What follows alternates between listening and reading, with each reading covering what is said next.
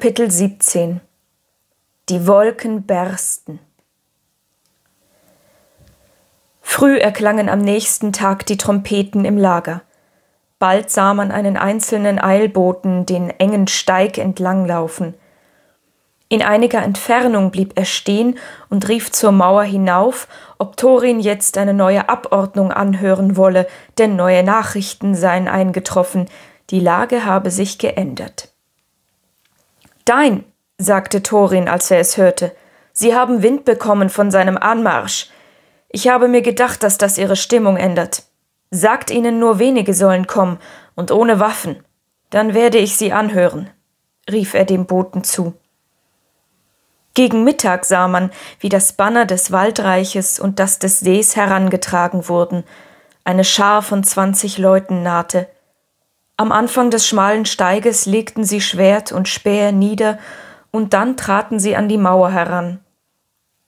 Die Zwerge wunderten sich sehr, dass sich Bart und der Elbenkönig unter ihnen befanden. Vor ihnen stand ein alter Mann in Mantel und Kapuze und trug ein von starken Eisenbändern umfasstes Holzkästchen. Seid gegrüßt, Thorin, sagte Bart. Seid ihr noch immer derselben Meinung? Meine Meinung ändert sich mit einigen Sonnenauf- und Untergängen, antwortete Thorin. Seid ihr gekommen, müßige Fragen zu stellen? Das Elbenheer ist noch immer nicht abgezogen, obgleich ich es verlangt habe. Bis dahin kommt ihr vergeblich, wenn ihr mit mir verhandeln wollt. Und es gibt gar nichts, für das ihr ein Gran eures Goldes abgeben wollt? Nichts, das ihr oder eure Freunde anzubieten hätten. Und wie ist es mit Treins Arkenjuwel? Fragte Bart, und in diesem Augenblick öffnete der alte Mann das Kästchen und hielt den edlen Stein hoch. Weißstrahlend glänzte er im Morgenlicht. Fassungslos vor Staunen und Verwirrung stand Thorin da. Keiner sagte etwas, Lange Zeit währte das Schweigen. Dann brach schließlich Thorin die Stille und seine Stimme zitterte vor Zorn. Dieser Stein gehörte meinem Vater. Dieser Stein ist mein Eigentum, rief er. Wie käme ich dazu, mein Eigentum zu erkaufen? Aber er konnte seine Verwunderung nicht länger zurückhalten und fügte hinzu Doch wie fiel das Erbe meines Hauses euch in die Hände? falls es nicht sinnlos ist, Diebe der Nacht zu fragen. Wir sind keine Diebe, antwortete Bart. Wir wollen euch euer Eigentum gegen unser Eigentum zurückgeben. Wie habt ihr ihn bekommen? schrie Thorin in steigender Wut. Ich war es, quietschte Bilbo, der ihnen den Stein gab. Und er schaute in Todesängsten über die Mauer hinweg. Ihr, ihr, schrie Thorin, drehte sich Bilbo zu und ergriff ihn mit beiden Händen. Elender Hobbit, ihr zu kurz geratener Meisterdieb! Die Worte gingen ihm aus und er schüttelte Bilbo wie ein Kaninchen. Beim Bart von Durin, ich wünschte, Gandalf wäre hier. Verflucht soll er sein. Warum hat er euch bloß ausgewählt? Möge sein Bart verdorren. Und was euch angeht, in die Klippen werde ich euch schmettern, schrie er und hob Bilbo hoch in die Luft.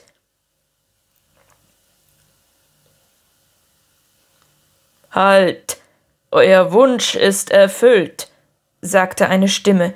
Der alte Mann, der das Kästchen trug, schlug Mantel und Kapuze zurück. Hier ist Gandalf, und das zur rechten Zeit scheint es. Wenn ihr meinen Meisterdieb auch nicht mögt, so krümmt ihm bitte kein Haar.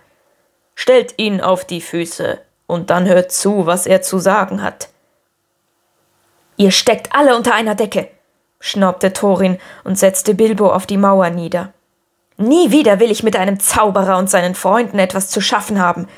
Was habt ihr zu sagen, Rattensohn? Lieber Himmel, stöhnte Bilbo, es ist mir außerordentlich peinlich, glaubt mir. Aber vielleicht erinnert ihr euch, dass ihr gesagt habt, ich solle mir mein Vierzehntel selbst auswählen. Vielleicht nahm ich das allzu wörtlich.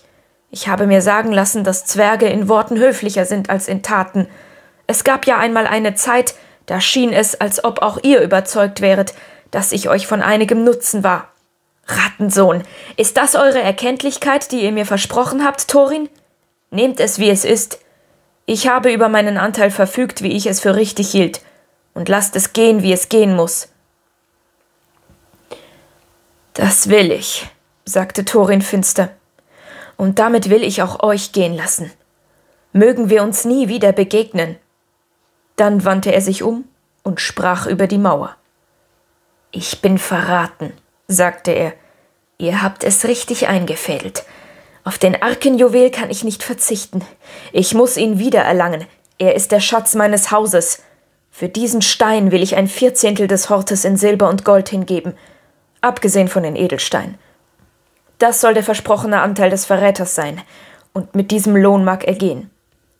Und ihr könnt teilen, wie ihr wollt. Wenig genug wird ihm übrig bleiben, daran zweifle ich nicht. Nehmt ihn jetzt, wenn ihr ihn lebendig haben wollt. Kein freundschaftliches Band verbindet mich mehr mit ihm. Und jetzt schert euch hinunter zu euren Freunden, sagte er zu Bilbo, oder ich werfe euch hinunter. Und wie steht es mit dem Silber und dem Gold? fragte Bilbo. Das soll folgen, sobald wir es einrichten können, antwortete Thorin. Aus den Augen! Bis dahin behalten wir den Stein, rief Bart zurück. Der König unter dem Berg erweist sich nicht gerade als besonders großherzig, sagte Gandalf, aber die Zeiten können sich ändern. Das können sie in der Tat, antwortete Thorin, und schon erwog er, ob er nicht mit Hilfe Deins den Arkenjuwel erobern und den Anteil Bilbos behalten konnte, so sehr lastete der verderbliche Zauber des Schatzes auf ihm. Bilbo wurde die Mauer hinuntergelassen, und er ging mit nichts für all seine Mühe, abgesehen von der Rüstung, die Thorin ihm vorher schon gegeben hatte. Mehr als einer unter den Zwergen schämte sich sehr und trauerte über Bilbos Abschied. Lebt wohl, rief er ihnen zu. Als Freunde wollen wir uns wiedersehen. Verschwindet! Schrie Thorin. Ihr tragt eine Rüstung, die mein Volk geschmiedet hat und die viel zu gut ist für euch. Pfeile können sie nicht durchbohren, aber wenn ihr nicht schnell macht, spieße ich euch bei euren elenden Füßen auf. Also schnell, fort mit euch. Nicht so hastig, sagte Bart. Wir lassen euch Zeit bis morgen. Mittags kommen wir zurück und dann werden wir sehen, ob ihr jenen Teil aus dem Schatz gebracht habt, der für diesen Stein ausgesetzt ist. Ist das ohne Trug geschehen, dann ziehen wir ab, und das Elbenheer kehrt in den Wald zurück. Inzwischen lebt wohl. Damit gingen sie in das Lager zurück. Aber Thorin sandte Boten über Roek an Dain, ließ ihn davon unterrichten, was geschehen war, und bat ihn rasch anzurücken. Der Tag verging, und die Nacht verging. Am nächsten Tag sprang der Wind nach Westen um, und es war dunkel und trübe.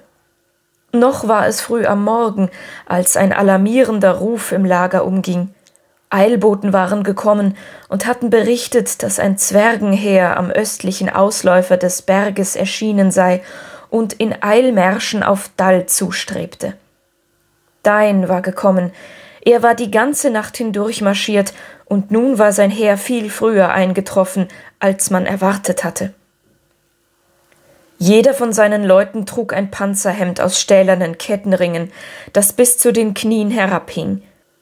Die Beine waren von einer Panzerhose aus feinsten biegsamen Metallmaschen geschützt, die nur deins Volk herstellen konnte. Diese Krieger waren selbst für Zwerge ungewöhnlich stark. In der Schlacht schwangen sie schwere zweihändige Hacken, Außerdem trugen sie ein breites Kurzschwert an der Seite und über der Schulter hing ihnen ein Rundschild. Ihre Gabelbärte waren geflochten und hinter die Gürtel gesteckt. Ihre Sturmhauben und ihre Stiefel waren aus Eisen und ihre Gesichter sahen grimmig aus. Trompeten riefen Menschen und Elben zu den Waffen. Nicht lange und man konnte die Zwerge im Eilschritt das Tal heraufziehen sehen. Zwischen dem Fluss und dem Ostausläufer des Berges hielten sie an. Aber einige zogen gleich weiter, überquerten den Fluss und näherten sich dem Lager. Dort legten sie ihre Waffen nieder und erhoben ihre Hände zum Zeichen des Friedens. Bart ging hinaus, um mit ihnen zu reden, und Bilbo folgte ihm. Wir sind gesandt von Dein, Sohn von Nein, sagten sie auf Barts Frage. Wir eilen, unsere Verwandten im Gebirge zu begrüßen, denn wir hören, das alte Königreich sei neu errichtet worden. Aber wer seid ihr, die ihr im Tal wie Feinde vor befestigten Toren lagert? Das war die höfliche und ein bisschen altmodische Sprache, wie man sie bei solchen Gelegenheiten anzuwenden pflegte. Mit einfachen Worten besagte es jedoch nichts anderes als Ihr habt hier nichts verloren, wir setzen unseren Weg fort, also macht Platz, oder wir werden gegen euch kämpfen. Sie beabsichtigten wohl, zwischen Bergflanke und Fluss vorzurücken, denn der schmale Landstreifen schien nicht sonderlich stark bewacht zu sein. Bart verweigerte natürlich den Zwergen, geradewegs auf den Berg zuzugehen. Er war entschlossen zu warten, bis Gold und Silber zum Austausch für den Arkenjuwel herausgebracht wurden. Er glaubte nicht daran, dass dies je geschehen würde, wenn die Festung erst einmal durch ein solch zahlreiches und kriegerisches Heer bemannt wäre. Dain hatte große Vorratsmengen mitgebracht, denn Zwerge können sehr schwere Lasten tragen, Fast alle aus seinem Volk hatten trotz des raschen Marsches neben ihren Waffen gewaltiges Gepäck geschultert. So würden sie wochenlang einer Belagerung standhalten. Inzwischen würden immer noch mehr Zwerge kommen, denn Thorin hatte viele Verwandte, auch würden sie in der Lage sein, irgendein anderes Tor wieder zu öffnen und zu bewachen, so dass die Belagerer den ganzen Berg einschließen mussten, und dafür waren sie nicht zahlreich genug. So sahen in der Tat die Pläne der Zwerge aus. Aber im Augenblick war der Weg versperrt. Nach ärgerlichem Wortwechsel zogen die Zwergenboten sich zurück und brummten Verwünschungen in ihre Bärte. Bart indessen sandte sogleich zum großen Tor. Aber dort fanden seine Leute weder Gold noch andere Bezahlung. Pfeile schwirrten ihnen entgegen, als sie auf Schussweite herangekommen waren, und in größter Bestürzung hasteten sie zurück. Im Lager herrschte ein Gewühl, als sollte im nächsten Augenblick die Schlacht beginnen. Auf dem Ostufer zogen Deins Zwerge entlang. Narren, lachte Bart, wer wird denn direkt an der Bergflanke vorbeimarschieren? Vielleicht verstehen Sie etwas vom Krieg unter der Erde, aber von Schlachten über der Erde verstehen Sie bestimmt nichts. Unsere Bogenschützen und Speerträger sind in den Felsen auf ihrer rechten Flanke zahlreich genug verborgen. Zwergenpanzer mögen gut sein, aber sie werden bald viel aushalten müssen. Gleich werden wir sie von beiden Seiten angreifen, ehe sie zu übermütig werden. Aber der Elbenkönig sagte Ich will doch lieber abwarten, ehe ich diesen Krieg des Goldes wegen beginne. Die Zwerge können nicht an uns vorbei, wenn wir es nicht wollen, und können auch nichts unternehmen, das wir nicht übersehen, noch ist Hoffnung. Vielleicht geschieht etwas, das Aussöhnung bringt. Wenn es aber trotzdem zu einer unglückseligen Schlägerei kommen sollte, dann wird unsere zahlenmäßige Überlegenheit genügen. Doch er rechnete nicht mit den Zwergen. Sie wussten, dass der Arkenjuwel in den Händen der Belagerer war, und das ließ ihnen keine Ruhe. Auch sahen sie, dass Bart und seine Freunde zögerten und so waren sie zum Handstreich entschlossen, während im anderen Lager noch debattiert wurde. Plötzlich und ohne Signal gingen sie stumm zum Angriff über. Bogensehnen surrten und Pfeile pfiffen, die Schlacht konnte jeden Augenblick entbrennen. Aber noch plötzlicher nahte mit unheimlicher Geschwindigkeit eine Finsternis. Eine schwarze Wolke flog über den Himmel, der Donner eines Wintergewitters rollte mit dem wilden Wind dröhnend heran und zerkrachte am Berg, während ein Blitz seinen Gipfel aufleuchten ließ. Und unter der Gewitterbank schwirrte eine andere Finsternis heran, aber sie kam nicht mit dem Wind. Sie kam als riesige Vogelwolke aus dem Norden, so dicht, dass das Tageslicht zwischen den Schwingen nicht mehr zu sehen war. Halt! Schrie Gandalf, der plötzlich erschien. Mit erhobenen Armen stand er allein zwischen den angreifenden Zwergen und den sie erwartenden Schlachtreihen. Halt!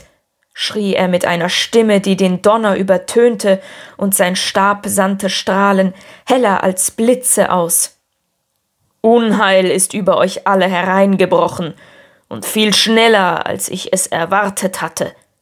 Gleich fallen die Orks über euch her. Bolk aus dem Norden ist gekommen. O dein, Bolk, dessen Vater ihr in Moria erschlagen habt, Seht die Fledermäuse schwirren über seinem Heer wie ein riesiger Heuschreckenschwarm. Sie reiten auf Wölfen, und die Warge sind mit ihnen. Überraschung und Verwirrung bemächtigte sich aller. Noch während Gandalf sprach, nahm die Dunkelheit zu. Die Zwerge hielten an und starrten zum Himmel hinauf, die Elben sprachen alle durcheinander. Kommt, rief Gandalf, noch ist es Zeit, sich zu beraten. Dein, Sohn von Nein, möge rasch zu uns herüberkommen. So begann eine Schlacht, mit der niemand gerechnet hatte. Sie wurde die Schlacht der fünf Heere genannt, und sie war entsetzlich. Auf einer Seite kämpften Orks und Wildwölfe und auf der anderen Elben, Menschen und Zwerge, und auf folgende Weise kam es dazu. Seit dem Tod des großen Orks der Nebelberge war der Hass der Unterirdischen zu heller Glut entfacht. Boten eilten hin und her zwischen ihren Städten, Niederlassungen und Zwingburgen, denn jetzt wollten sie ein für allemal die Herrschaft im Norden an sich reißen.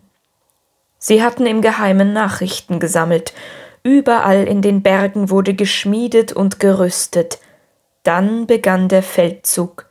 Sie sammelten sich in Bergen und Tälern und marschierten ausschließlich durch ihre Tunnels oder in der Dunkelheit. Schließlich gelangten sie zu dem großen Berg Gundabad im Norden, wo ihre Hauptstadt lag. Ein gewaltiges Heer versammelte sich hier, das sich bereit machte, während eines Unwetters unerwartet im Süden einzufallen. Dann hörten sie vom Tod des Mauks und ihre Freude war groß. Nacht um Nacht hasteten sie in Eilmärschen durch das Gebirge und kamen auf diese Weise dicht hinter Dein her. Nicht einmal die Raben wussten etwas von ihrem Kommen, bis sie in die offenen, verwüsteten Landschaften zwischen ihren Bergen und dem einsamen Berg einfielen. Wie viel Gandalf darüber wusste, steht nicht fest aber es war offensichtlich, dass er diesen Überraschungsangriff nicht erwartet hatte, und so sah sein Plan aus, den er mit dem Elbenkönig und mit Bart fasste, und mit Dein, denn der Zwergenfürst hatte sich mit ihnen vereinigt.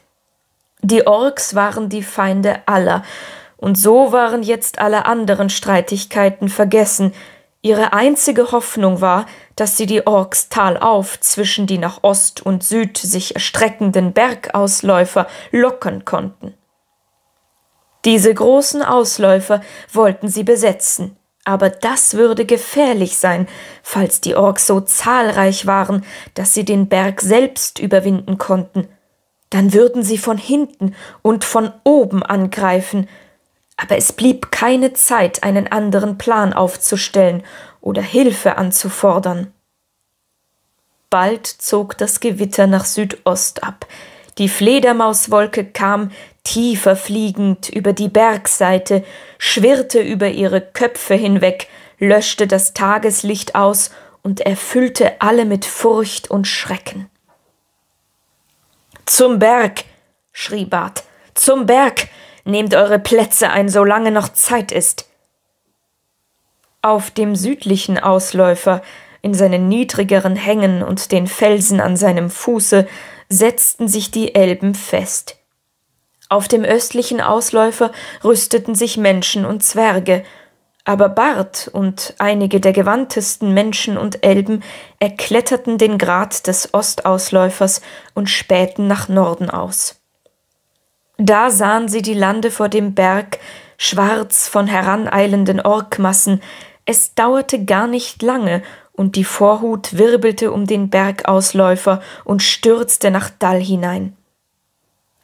Es waren die schnellsten Wolfsreiter, ihr Geschrei und Geheul zerriss die Luft, Einige wenige mutige Männer traten ihnen entgegen und leisteten schwachen Widerstand. Viele von ihnen fielen, ehe der Rest sich zurückzog und nach beiden Seiten floh. Wie Gandalf gehofft hatte, sammelte sich das Heer hinter der aufgehaltenen Vorhut und stürmte nun wütend ins Tal zwischen die Bergflanken, wo sie den Feind erwarteten. Ihre roten und schwarzen Banner waren zahllos, wie eine Flut brandeten sie daher, voll rasender Wut und ohne Ordnung. Es war eine schreckliche Schlacht, das schlimmste Erlebnis, das Bilbo je widerfuhr und das er Zeit seines Lebens am meisten hasste. Aber es muss gesagt sein, dass es ein Erlebnis blieb, auf das Bilbo sehr stolz war, und noch lange erzählte er nur zu gern davon, obgleich er eine ganz belanglose Rolle darin spielte. Gleich zu Anfang streifte er den Ring an den Finger und verschwand aus dem Blickfeld allerdings nicht aus der Gefahr. Ein Zauberring dieser Art ist durchaus kein ausreichender Schutz gegen einen Orkangriff. Er schützt nicht vor schwirrenden Pfeilen und wild geworfenen Speeren. Aber er hilft dem Schlimmsten aus dem Weg zu gehen und bewahrt euren Kopf davor, Ziel für die Schwertstreicher eines Orks zu sein. Die Elben griffen zuerst an. Ihr Hass gegen die Orks war ein kalter, bitterer Hass. Ihre Speere und Schwerter leuchteten im Zwielicht mit schneidend kalter Flamme. So tödlich war der Hass der sie führenden Hände. Sobald das Heer ihrer Feinde dicht im Tal aufgerückt war, schickten sie einen Pfeilhagel hinein. Jeder abgeschossene Pfeil glühte auf wie ein Feuerstreif. Den Pfeilen folgten tausend Speerträger, die zum Angriff übergingen. Schreie gellten ohrenbetäubend, die Felsen schwärzten sich von Orkblut. Gerade als sich die Orks von dem unerwarteten Angriff erholten und die Elben zum Stehen gekommen waren, erhob sich von der anderen Talseite ein tiefkehliges Gebrüll. Mit dem Ruf Moria und Dein griffen die Zwerge der Eisenberge ihre Zweihänder schwingend ein. Neben ihnen bahnten sich Menschen vom See ihren Weg mit blitzenden Langschwertern. Entsetzen ergriff die Orks, und kaum hatten sie sich umgewandt, um diesem neuen Angriff zu begegnen, als die Elben mit frischen Scharen auf sie einstürmten. Schon flohen zahlreiche Orks am Fluss zurück, um der Falle zu entgehen. Viele ihrer eigenen Wölfe fielen über sie her und zerrissen Tote und Verwundete. Der Sieg schien nahe, als ob auf den Höhen Kampfgeschrei erklang. Orks hatten das Gebirge von der anderen Seite erstiegen, und schon hingen sie zahlreich in den steilen Hängen über dem Eingangstor. Tollkühn strömten andere Scharen herab, beachteten nicht die Todesschreie der Orks, die von Klippen und Steilhängen abstürzten. Sie kamen die Pfade vom Hauptmassiv herunter und griffen die Bergschultern von oben her an. Die Verteidiger aber waren nicht zahlreich genug, um diese Pfade lange sperren zu können. Das Blatt schien sich zu wenden, es war nur die erste schwarze Flut, die zurückgeschlagen wurde. Der Tag neigte sich dem Ende zu, die Orks sammelten sich wieder im Tal, mit hechelnden Zungen stürzten Warge vor, dicht gefolgt von der Leibwache Bolks, großgewachsenen Orks mit krummen Stahlsäbeln. Bald überzog Dunkelheit den stürmischen Himmel, währenddessen schwirrten große Fledermäuse den Elben und Menschen um Köpfe und Ohren oder setzten sich Vampiren gleich auf die Geschlagenen. Jetzt musste Bart den Ostausläufer verteidigen. Schon zogen seine Kampfgefährten sich langsam zurück, während drüben auf dem südlichen Ausläufer in der Nähe des Wachtpostens am Rabenberg die Elfenfürsten, um ihren König geschart, Widerstand leisteten. Plötzlich entstand ein Geschrei, und vom großen Tor erklang Trompetengeschmetter. Sie hatten Thorin vergessen. Thorin Eichenschild hatte Hebebäume von innen ansetzen lassen, krachend stürzte ein Teil der Mauer in die schützende Wasserfläche, und hinaus rannte der König unter dem Berg und seine Gefährten folgten ihm. Mantel und Kapuze hatten sie zurückgelassen, sie trugen glänzende Rüstungen und zornig glühten ihre Augen, in der Dunkelheit schimmerte die Rüstung des großen Zwergenkönigs wie Gold in sterbendem Feuer. Von oben warfen die Orks Felsbrocken herab, aber die Zwerge hielten stand, eilten am Wasserfall hinab und stürzten sich in die Schlacht. Wölfe und Reiter fielen oder flohen vor ihnen, Thorin schwang seine Axt mit mächtigen Streichen, nichts schien ihm etwas anhaben zu können. Hierher, hierher, Elben und Menschen, hierher, o oh meine Brüder, schrie er, und seine Stimme klang wie ein Hornruf. Alle Schlachtordnung missachtend, stürzten ihm Deins Zwerge zu Hilfe, herab kamen auch zahlreiche Menschen der Seestadt, Bart konnte sie nicht halten, und von der anderen Seite schlossen sich ihm viele Speerträger der Elben an. Noch einmal wurden die Reihen der Orks im Tal zusammengeschlagen, dunkel und hässlich füllten ihre Toten die Ebenen von Dall. Längst waren die Warge zum Teufel gejagt, und Thorin griff jetzt Bolks Leibwache an, aber ihre Reihen konnte er nicht durchbrechen. Hinter dem angreifenden Thorin lagen viele Menschen und Zwerge tot zwischen den erschlagenen Orks und mancher Elb, der noch lange ein fröhliches Leben in den Wäldern hatte führen sollen. Und da, wo das Tal breiter wurde, kam Thorins Angriff gar zum Stehen. Seiner Mitstreiter waren zu wenige, seine Flanken offen, schon mussten die Stürmenden den Gegensturm auf sich anbranden sehen, Sie wurden zusammengedrängt und auf allen Seiten von den umkehrenden Orks und Wölfen eingeschlossen und angegriffen. Die Leibwache Bolks warf sich Thorin heulend entgegen und brach in seine Reihen ein, so wie Küstenwellen über Sandklippen hinwegspülen. Thorins Freunde konnten ihm nicht helfen, denn auch auf dem Berg wurde der Angriff mit neuer Wut aufgenommen, Überall wurden Menschen und Elben langsam Schritt um Schritt zurückgedrängt. Auf all dies blickte Bilbo mit tiefer Betrübnis hinab. Er hatte bei den Elben auf dem Rabenberg Stellung bezogen, teils weil er von dort leichter entkommen konnte, und teils weil, wenn es schon um ein verzweifeltes Aushalten ging, er lieber den Elbenkönig verteidigte. Auch Gandalf war dort. Er saß auf dem Felsboden und schien in tiefe Gedanken versunken. Vermutlich bereitete er einen letzten Zauberstreich vor, ehe das Ende kam. Und das schien nicht fern zu sein. Nicht mehr lang, dachte Bilbo, und die Orks erobern das Eingangstor, und wir werden alle zusammengehauen, davongejagt oder gefangen. Man möchte heulen, wenn man bedenkt, was wir durchgestanden haben. Ich wollte, der alte Smaug wäre auf diesem verwünschten Schatz sitzen geblieben.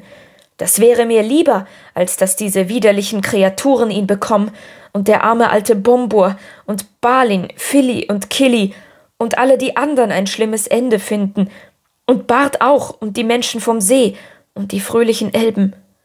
Oh Jammer, ich habe manches Lied von mancher Schlacht gehört, und ich habe immer gedacht, dass auch eine Niederlage ruhmreich sein kann aber sie scheint doch sehr ungemütlich zu sein, um nicht zu sagen betrüblich. Ach, wenn ich nur aus allem schon heraus wäre. Der Sturm zerriss die Wolken, und die untergehende Sonne ließ den Himmel im Westen rot erglühen. Als Bilbo in der Dunkelheit das plötzliche Aufleuchten sah, drehte er sich um. Und da schrie er auf, denn er hatte etwas bemerkt, was sein Herz höher schlagen ließ schmale, dunkle Schwingen königlich vor dem fernen Lichtstreifen. Die Adler, schrie Bilbo, die Adler kommen. Seine Augen täuschten sich selten. Die Adler kamen mit dem Wind, eine Fluglinie nach der anderen. Es war ein Heer, das sich aus allen Horsten des Nordens gesammelt haben musste. Die Adler! brüllte Bilbo begeistert, tanzte und schwenkte die Arme. Wenn die Elben ihn auch nicht sehen konnten, so hörten sie ihn doch.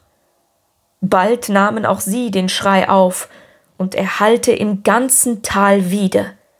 Viele erstaunte Augen blickten auf, obgleich noch nichts zu sehen war. Die Adler! schrie Bilbo noch einmal, aber in diesem Augenblick schlug schwer ein herabsausender Stein gegen seinen Helm. Bilbo stürzte auf den Felsboden und verlor das Bewusstsein.